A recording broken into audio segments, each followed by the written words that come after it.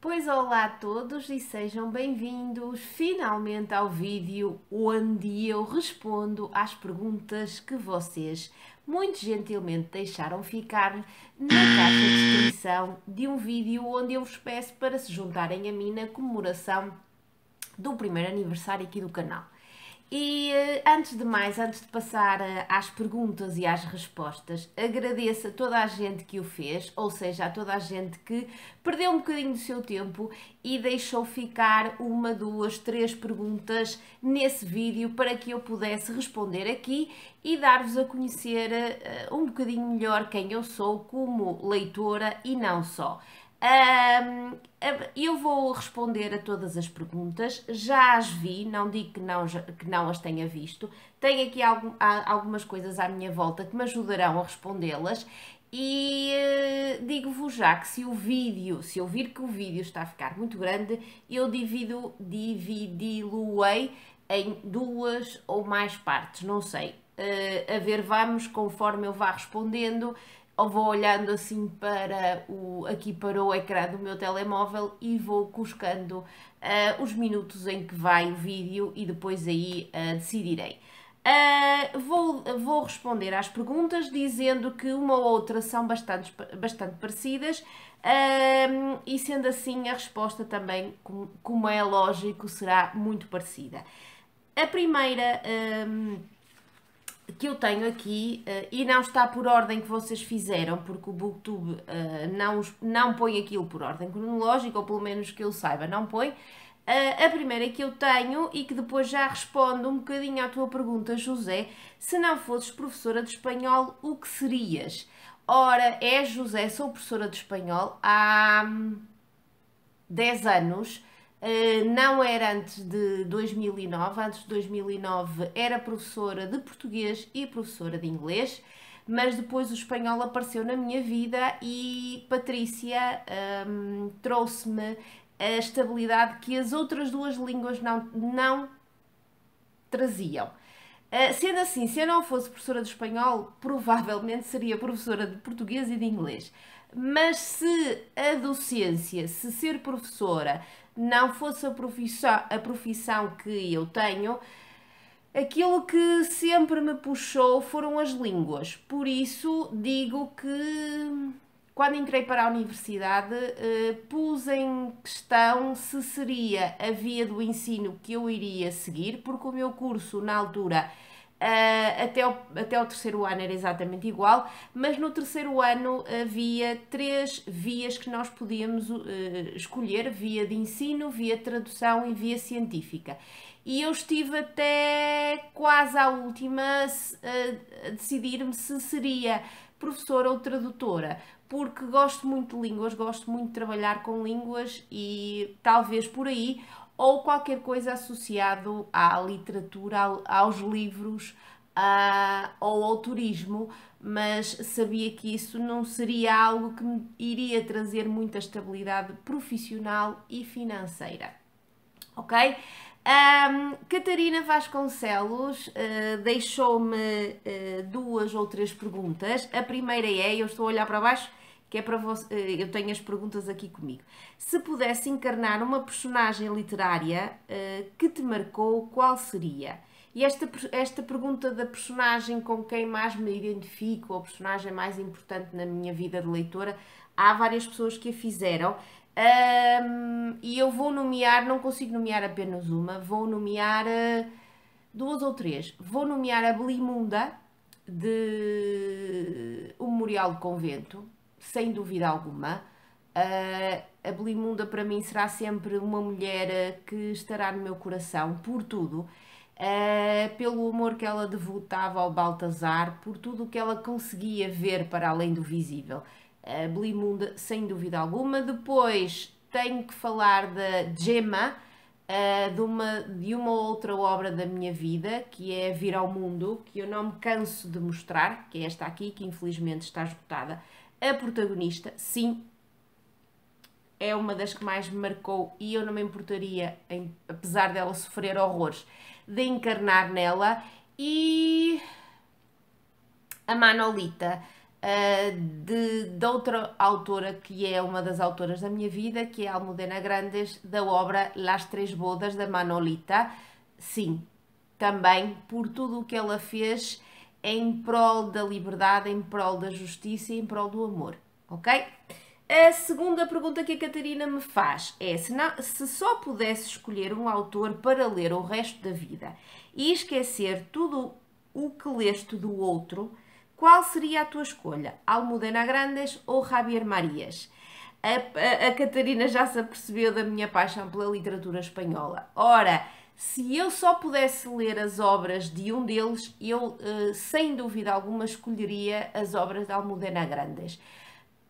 Porque ela é muito mais sentimento, muito mais coração ao pé da boca, muito mais sangue a fervilhar do que Javier Marias. Javier Marias é mais racional e tem, tem uh, maioritariamente daquilo que eu sei, ou se não todas as obras que eu li, uh, protagonizadas por homens. Já uh, Almudena Grandes tem uh, obras mais protagonizadas por mulheres e eu, uh, como sendo mulher, uh, identifico muito mais com as personagens femininas e as personagens femininas de Almudena Grandes são extremamente fortes e determinadas e eu adoro esse lado efervescente profundo a nível psicológico da Almudena Grandes e de certeza absoluta que a escolheria. A terceira pergunta que tu me fazes, Catarina, é qual a tua relação com a poesia? E ela entre, entre parênteses diz: Recordo-me de te ter ouvido dizer que não apreciavas que não apreciavas a poesia no vídeo de opinião sobre o livro Lá onde o vento chora. É verdade, eu sempre fui desde nova Uh, mesmo quando tinha que analisar em aulas de português uh, poesia, eu nunca fui muito uh, leitora de poesia. Achei sempre que a poesia tem um lado, e agora entre aspas, demasiado subjetivo que às vezes eu não conseguia entender. E sempre fui muito mais prosa do que poesia. Não quer dizer que não, que não tropeço uma vez por outra com um poema e goste, mas se me derem a escolher entre poesia, entre poesia e prosa, é logo, eu decido logo pela prosa. Logo, mesmo que a prosa depois seja uma decepção, mas sempre prosa em prol da poesia. Sorry. A minha homónima de Phoenix Flight, a Aninha, eh, também me faz algumas perguntas. A primeira é: qual tem sido a maior dificuldade que tens sentido em relação ao canal?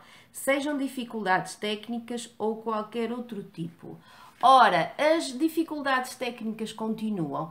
Eu sou algo preguiçosa na coisa da edição. Eu gosto é de estar aqui a falar convosco. Depois, a parte da edição é sempre aquela que me custa mais. E custa por preguiça, e também custa porque eu sei que essa preguiça não me faz investir tempo à procura de programas melhores para editar, etc, etc. Por isso é, é e eu acho que continuará a ser a maior dificuldade. E depois, eh, muito provavelmente, a falta de tempo, porque uma coisa é quando eu estou de vacances e tenho imenso tempo para estar aqui convosco e para lançar vídeos, Outra coisa é quando o trabalho aperta e eu quero uh, partilhar convosco uh, leituras, outras coisas e não tenho tempo para fazê-lo. Não é tanto o gravar, porque o gravar é mais fácil, é o, o que eu disse há pouco, é a parte técnica que me uh, tira tempo que eu não gosto muito que me tire. Segunda pergunta há algum projeto que gostasses de fazer a médio, longo prazo ou curto no teu canal? Sim, uh, se eu tivesse tempo ou mais tempo e às vezes também alguma disponibilidade, hum, eh, não só temporária, de tempo, mas a outra disponibilidade, eu, eu gostava que o meu canal continuasse a incidir sobretudo em, na literatura portuguesa, na literatura espanhola e na literatura latino-americana. São uh, três literaturas que a mim me dizem muito uh, e gostaria que o meu canal se focasse maioritariamente nisso, mas também isso iria fazer com que eu uh, deixasse de lado outras nacionalidades de leitores e literatura que eu gosto também. Uh, por isso, eu pretendo lançar qualquer coisa, continuar a lançar qualquer coisa relacionado com isso. Quando é que eu não sei? é tudo uma questão de tempo e de disponibilidade. Terceira, costumas falar do teu canal com pessoas fora do teu circuito mais íntimo? Não. Eu sou, e às vezes há pessoas que podem considerar algo de arrogante, mas eu sou nesse aspecto muito, uh, não sei se tímida será a melhor palavra, mas sou um bocado reservada. Não gosto de. Já disse isso uma vez aqui numa tag, não quero que ninguém me leve a mal, é a minha forma de estar. Eu não gosto de andar a divulgar aquilo que faço assim uh, por todos os lados. Até me custa um bocadinho. Um, e podem pensar que ai, aquela não diz nada porque acha que o que faz é muito bom e as pessoas têm que obrigatoriamente que elas próprias descobrirem. Não, eu não, não tenho jeito, nunca tive jeito para demonstrar, para hum, divulgar aquilo que eu faço com as outras pessoas que estão fora do meu circuito mais íntimo. Só se me convidam.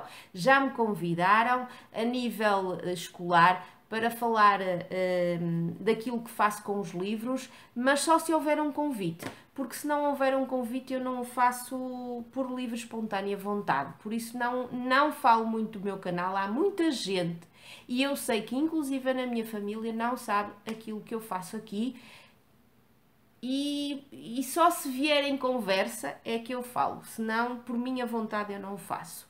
Ok, Aninha? Ah. Agora, a Sofia do Daily My Assis um, faz-me também duas perguntas ou três. A primeira, como foram mudando os teus gostos de leituras à medida que foste crescendo? Ora, eu já falei disto algumas vezes aqui pelo canal. Uh, foram mudando de certezinha absoluta porque enquanto era nova e me deliciava com os livros uh, de Annie Blyton. Gostava muito de tudo que tivesse a ver com aventura, com mistério, com esse lado mais policial dos 5 e dos 7 e afins.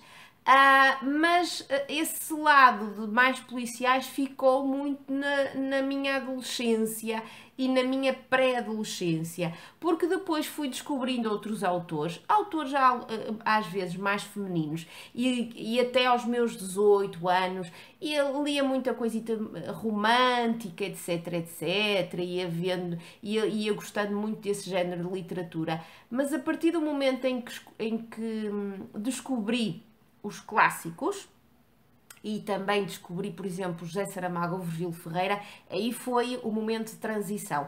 E a partir daí hum, os meus gostos mudaram muito e hoje em dia é muito difícil eu ler com prazer e com vontade, andar à procura de ler, uh, por exemplo, literatura mais romântica.